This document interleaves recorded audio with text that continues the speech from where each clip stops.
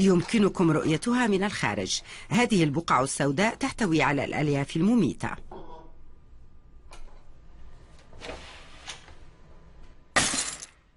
إن سقطت الحاوية وانكسر الزجاج الذي تحتويه فسينتشر الأسبست في الهواء. لا خطر على كنوت بيرنل لأنه يعمل داخل حجرة تحتوي على وحدة استخلاص خاصة.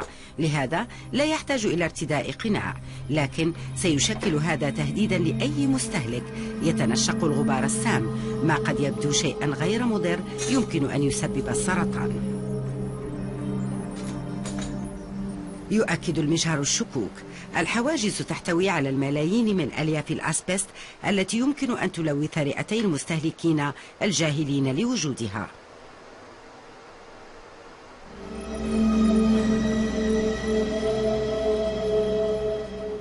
الألياف في الأوعية الحافظة للحرارة هي كريسوتايل أو أسبست أبيض ونعلم أن مصدره كندا وهو ممنوع في أنحاء أوروبا. مؤكد أن هذا أسبست. هناك نوعان للأسبست. الأول هو الأسبست الشبيه بالإبر وكروسيدوليت مثال عليه. كما أن هناك كريسوتايل الذي يكون أنعم ومنفوشا أكثر.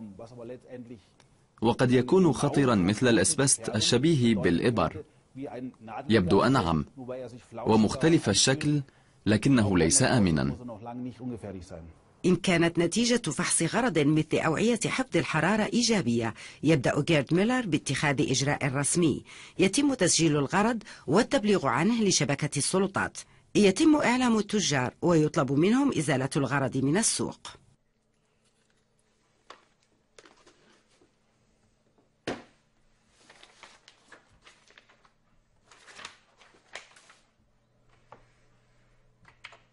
ميلر على اتصال الآن بأوروبا. وهذا ضروري لأن غالبية المنتجات لا تسوق إلى ألمانيا فقط بل إلى العالم.